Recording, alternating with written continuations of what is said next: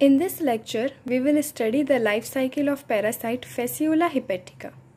Fasciola hepatica phylum Platyhelminthes से belong करता है और इसको commonly the sheep liver fluke बोला जाता है लीवर फ्लूक वो पैरासाइटिक वॉर्म्स होती हैं जो कि लीवर को इन्फेक्ट करती हैं so it is called sheep liver fluke यानी कि शीप के लीवर को इन्फेक्ट करता है ओके okay?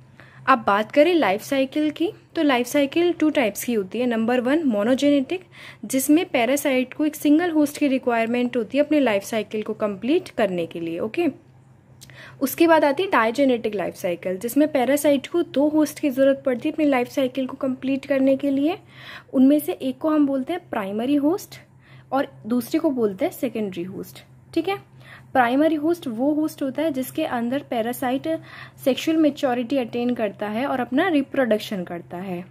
और सेकेंडरी होस्ट वो होता है जिसके अंदर पैरासाइट के लार्वल स्टेजेस पास आउट होते हैं और उनका डेवलपमेंट होता है। ओके सो यहाँ पे फेसियोला हिपेटिका में प्राइमरी होस्ट है हमारा शीप जिसके नाम पे इसका कॉमन नेम है द शीप लीवर फ्लूक और सेकेंडरी होस्ट होता है स्नेल सो so, हम स्टार्ट करते हैं सबसे पहले। यहाँ से ये एक एडल्ट फ्लूक है जो कि शीप की इंटेस्टाइन में प्रेजेंट है ठीक है? अब ये एडल्ट फ्लूक क्या करेगा? फर्टिलाइजेशन uh, करेगा। ये हर्माफ्रोडाइट होते हैं यानी कि मेल और फीमेल सेक्स ऑर्गन एक ही बॉडी के अंदर एक ही ऑर्गेनिज्म की बॉडी के अंदर प्रेजेंट होगा ठीक है? हर्माफ्रोडाइट होने के बावजूद भी इनमें क्रॉस फर्टिलाइजेशन होता है। सो so, यहाँ पे एक पॉसिबिलिटी है कि मेल गैमेट और फीमेल गैमेट दोनों अलग अलग टाइम पर रिलीज़ हो रहे हैं जिसकी वजह से यहाँ पे क्रॉस फर्टिलाइजेशन हो रहा है। Okay okay? तो क्रॉस फर्टिलाइजेशन होने के बाद जाइगॉट का फॉर्मेशन होगा और जाइगॉट से डिवाइड होकर दो सेल का फॉर्मेशन होगा। उनमें से एक सेल को बोलेंगे सोमेटिक सेल और दूसरे को बोलेंगे प्रोपोगेटरी सेल सो so, यहाँ पे हॉलोब्लास्टिक और अनइक्वल डिवीज़न हो रहा है जाइगॉट का क्योंकि एक सेल लार्ज है साइज़ में और दूसरी सेल स्मॉलर है। सो लार्जर सेल जो हमारी सोमेटिक सेल है वो क्या करेगी? वो लार्वा के एक्टोडर्म का फॉर्मेशन करेगी और लार्वा के टिश्यूज का फॉर्मेशन करेगी। ठीक है? उसके बाद आता है प्रोपोगेटरी सेल जो कि हमारी स्मॉलर वन है। ये फर्दर डिवाइड करेगी इनटू टू डॉटर सेल्स उनमें से एक डॉटर सेल जो होगी, वो लार्वा की बॉडी का प्रोडक्शन करेगी और जो दूसरी डॉटर सेल होगी, वो जम सेल्स के मास का प्रोडक्शन करेगी। ओके? सो ये एडल्ट फ्लूक के जो एग्स होंगे, वो फ्लूक के गोनोपोर के थ्रू और शिप की बॉडी के through with the help of faeces इसकी बॉडी के थ्रू बाहर आ जाएँगे। तो ये फीकल पैलेट है जिनके अंदर एग प्रेजेंट है। ओके? okay? अब ये है egg shell containing embryo so इस एग के ऊपर एक शेल प्रेजेंट होगी, जिसकी वजह से इसको बोल सकते हैं हम, या तो एग शेल या फिर इसको एक कैप्सूल भी बोला जाता है ओके इसके अंदर एम्ब्रियो प्रेजेंट है, और यहाँ पे एक ऊपर ओपनिंग होगी, जिसको बोलेंगे operculum so after 14 to 15 days क्या होगा? इसके अंदर मिरासीडियम लार्वा का फॉर्मेशन होगा। एक्चुअली uh, होगा क्या? जब भी जब भी ये किसी मॉइस्चराइज uh, सरफेस के या फिर वाटर के कांटेक्ट में ही रहेगा। सो so, ये इसकी सुटेबल कंडीशन है एक्शेल के लिए। तो यहाँ पे उसके बाद इसमें मीरासीडियम लार्वा का फॉर्मेशन होगा और मीरासीडियम बाहर निकलेगा इससे with the help of proteolytic enzyme proteolytic enzyme को हम बोलते हैं हैचिंग एंजाइम तो हैचिंग एंजाइम के थ्रू इसके अंदर जो मीरासीडियम लार्वा का फॉर्मेशन हुआ है, वो इसकी एग शेल से बाहर आ जाएगा। और फॉर्मेशन होगा फ़र्स्ट लार्वल स्टेज का, जो, जिसको हम बोलते हैं मीरासीडियम लार्वा ठीक है? ये मोटाइल और नॉन फीडिंग फॉर्म होती है, यानी ये मोशन करती है और फ़ीड ये नहीं करती है ये वाली फॉर्म अब मोशन के लिए इसको ज़रूरत पड़ेगी सीलिया की तो इसकी बॉडी के आउटर सरफेस पे सारे में सीलिया प्रेजेंट होते हैं. ठीक है, जैसे कि वाटर के अंदर या किसी भी वाटर बॉडी के अंदर जहाँ भी प्रेजेंट है, अपना मूवमेंट इजीली कर सके. एंटीरियर एंड पे यहाँ पे एक एपिकल पेपिला प्रेजेंट होता है, जो कि इसको अटैचमेंट में हेल्प करता है. ठीक है, ये यहाँ पे एपिकल पेपिला के जस्ट नीचे एपिकल ग्लैंड प्रेजेंट होगा और ये मल्टी सेलुलर होते हैं, ठीक है? तो यहाँ पे ये इसका ब्रेन है, ये आई स्पॉट है और ये आउटर लेयर हो गई हमारी ये सीलिया जहाँ पे है और उसके अंदर आती है सब एपिथीलियम लेयर। और ये जो यहाँ पे सेल्स प्रेजेंट है, इन, ये हैं जम सेल्स। और जम सेल्स के ग्रुप को बोला जाता है जम बॉल्स। ये पेनिट्रेशन ग्लैंड है यहाँ पर। सो so, जब भी इसको अटैच होना होगा किसी से तो ये एपिकल पेपिला के थ्रू अटैच होगी और उस ऑर्गेनिज्म की बॉडी के अंदर एंटर करेगी with the help of penetration gland तो ये पेनिट्रेट करेगी with the help of penetration gland ठीक है? तो आफ्टर अबाउट फोर्टीन डेज़ ये क्या करेगी? मोशन करती रहेगी अपना पानी के अंदर घूमती रहेगी और किसको ढूंढेगी ये? अपने सेकेंडरी होस्ट को। ठीक है? तो ये इसका डेवलपमेंट मीरासीडियम लार्वा का into the second larval form that is sporocyst larva तभी हो पाएगा जब ये अपने सेकेंडरी होस्ट के अंदर एंटर करेगी मीरासीडियम लार्वा तो जब भी इसको कोई स्नेल मिलेगा वाटर बॉडी के अंदर, जैसे ये प्रेजेंट है पहले से ही तो वहाँ पे जब भी इसको स्नेल मिलेगा तो ये एपिकल पैपिला के थ्रू अटैच कर जाएगी स्नेल बॉडी से और पेनिट्रेशन ग्लैंड के थ्रू पेनिट्रेट कर जाएगी स्नेल बॉडी में। अब ये स्नेल की बॉडी में एंटर करने के बाद जो हमारी फॉर्म आती है लार्वा की, उसको हम बोलते हैं स्पोरोसिस्ट लार्वा यहाँ पे जो जम सेल्स प्रेजेंट थी, अब वो फॉर्मेशन कर देंगे स्पोरोसिस्ट लार्वा का.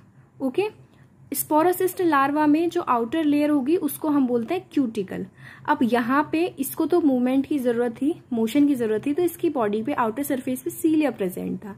लेकिन ये फॉर्म इसको उस तरीके से मोशन की ज़रूरत नहीं है इसीलिए इसके ऊपर से सीलिया एबसेंट है। ओके सो इसकी जो आउटर मोस्ट लेयर होगी उसको बोलेंगे क्यूटिकल क्यूटिकल के अंदर आएगी सब एपिथीलियम लेयर और स्पोरोसिस्ट लार्वा के अंदर प्रेजेंट होंगे रेडिया लार्वा सो so, सबसे पहले हमारा आया मेरा सीडियम लार्वा उसके बाद आया स्पोरोसिस्ट लार्वा ठीक है? और अब आएगा रेडिया लार्वा इसकी जम सेल्स से प्रोडक्शन हुआ स्पोरोसिस्ट का और स्पोरोसिस्ट के अंदर प्रेजेंट जो रेडिया जो जम सेल्स हैं वो प्रोडक्शन करेंगी फर्दर रेडियाई लार्वा का।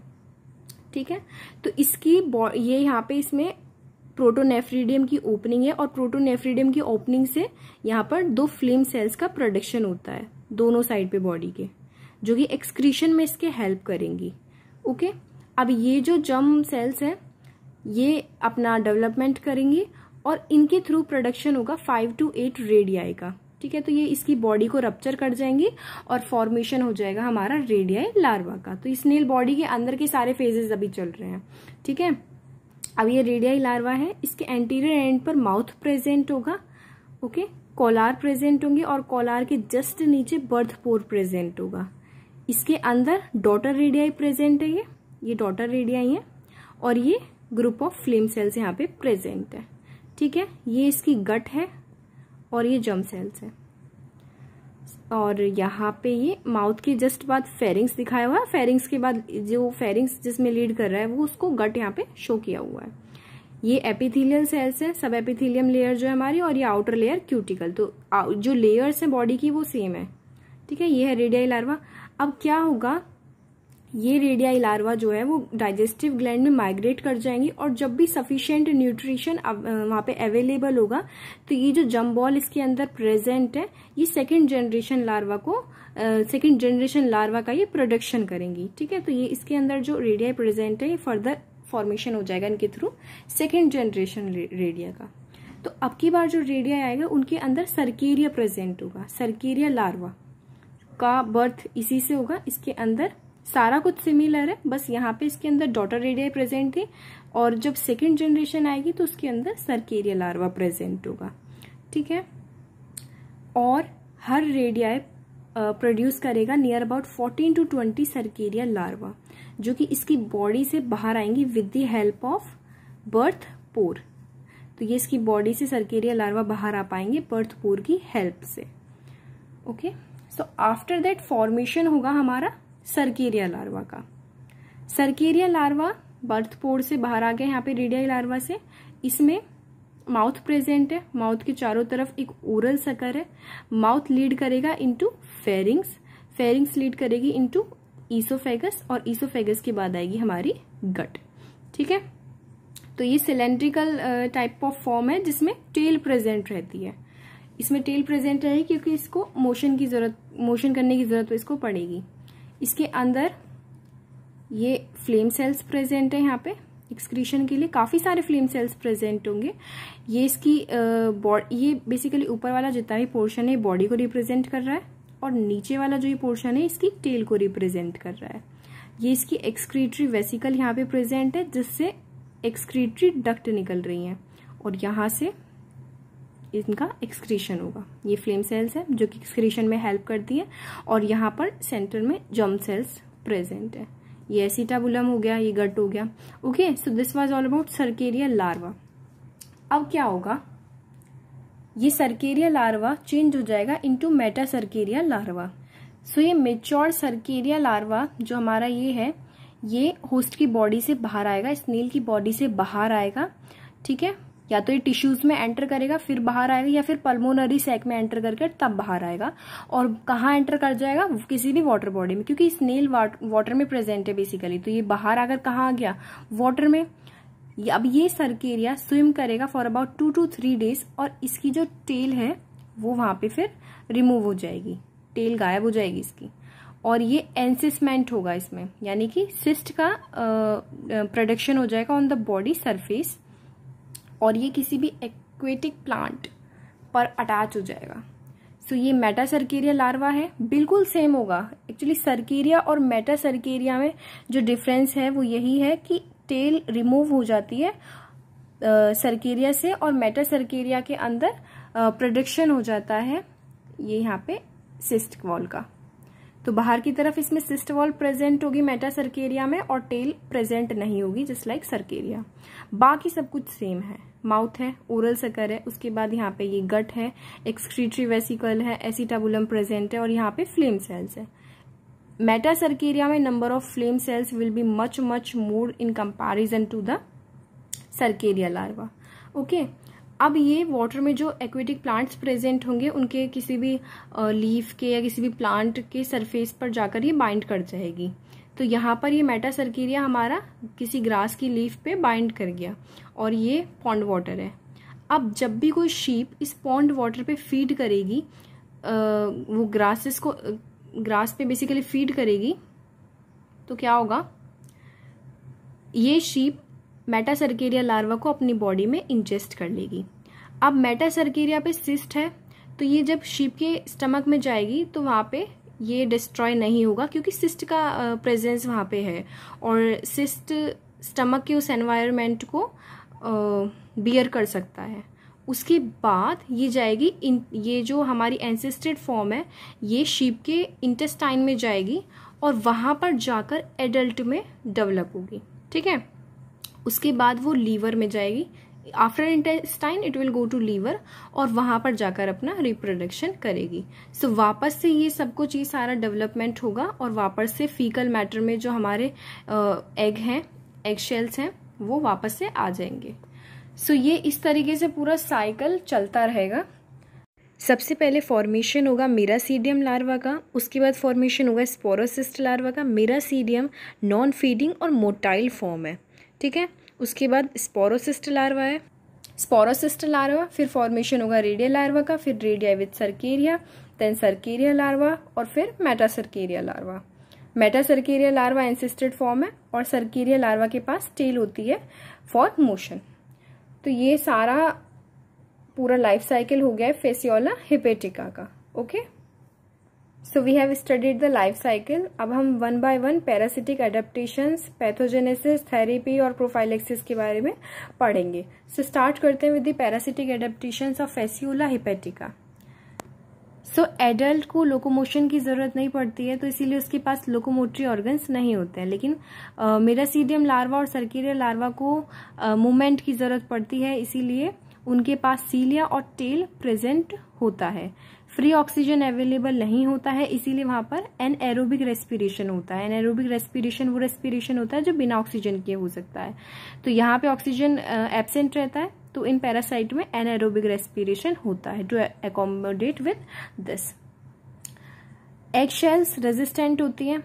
जायगॉट एक्सेल के अंदर प्रेजेंट होगा within the resistant eggshell shell जो कि फर्दर सेफ्टी प्रोवाइड कराएगा from the unfavourable environmental conditions so unfavourable conditions में भी वो जाइगॉट प्रोटेक्ट रहेगा अंडर एग शेल उसके बाद है हर्माफ्रोडिटिज्म यानी दोनों ही sex organ male and female within the same organism present रहते हैं, जिनकी वजह से सेल्फ फर्टिलाइजेशन भी वहाँ पर हो सकता है। अगर सिंगल पैरासाइट प्रेजेंट है तो वो सेल्फ फर्टिलाइजेशन भी कर सकते हैं to increase their number oral sucker acetabulum और स्पाइंस जो होते हैं बॉडी के, वो as organ of attachment act करते हैं इन द होस्ट बॉडी काफ़ी सारे एग्स का प्रोडक्शन होता है that is around two lakh eggs per fluke जो कि नेसेसरी है, क्योंकि इतनी बड़ी लाइफ साइकिल है फेसियोला हेपेटिका की तो उसमें काफ़ी सारे स्टेजेस ऐसे हैं कि जहाँ पर पर्टिकुलर एनवायरमेंटल कंडीशंस मिलेंगी, तभी वो आगे ग्रोथ होगी। तो उसके लिए, उस उससे कंपनसेट करने के लिए काफ़ी सारे एग्स का प्रोडक्शन होता है पर फ्लूक ये होगी parasitic adaptation now we will study pathogenesis और सिम्टम्स ओके अगर इन्फेक्शन स्नेल को होता है तो उसके क्या कॉन्सिक्वेंसेज uh, हो सकते हैं? तो वहाँ पर जहाँ से भी larva miracidium larva snail की बॉडी में एंटर करा है वहाँ पर पार्शल और कंप्लीट डिस्ट्रक्शन हो सकता है ऑफ़ दैट साइट और ये डाइजेस्टिव ग्लैंड इनका मेन मोटिव होता है to infect the digestive gland क्योंकि वहाँ से इनको बहुत ज़्यादा न्यूट्रिशन मिलता है। तो ये डाइजेस्टिव ग्लैंड को भी इफ़ेक्ट कर सकते हैं। उसके बाद है, अगर शीप के इन्फेक्शन की हम बात करें तो it can lead to the damage of liver और बाइलडक्स तो ये शीप के अंदर बेसिकली लीवर को ज़्यादा इन्फेक्ट करते हैं तो damage of liver can be a effect in bile duct inflammation हो सकती है और इस बाइल डक्ट की इन्फ्लामेशन को बोलते हैं यहाँ पे लीवर रॉट और fascioliasis after that is therapy और ट्रीटमेंट तो एंटी हेलमेंथिन ड्रग्स का यूज़ किया जा सकता है, जैसे कैर्बन टेट्राक्लोराइड और टेट्रा क्लोरोइथेन तो ये ड्रग्स क्या करेंगे? पैरासाइट की जो स्टेजेस होंगे लार्वल में होस्ट के उनको किल कर देंगे, उनको फिनिश कर देंगे। तो इस तरीके से डिस्ट्रक्शन हो जाएगा of the parasite after that is prophylaxis और प्रिवेंशन तो अब प्रिवेंटिव मेथड क्या क्या हो सकता है? ट्रीटमेंट की हमने बात कर ली, अब हम बात करेंगे प्रिवेंटिव मेजर्स की।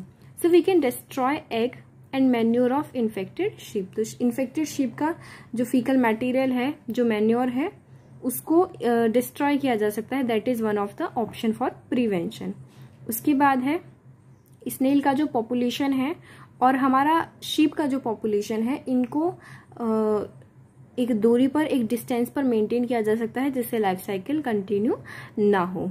Okay so here we have completed all the aspects of the topic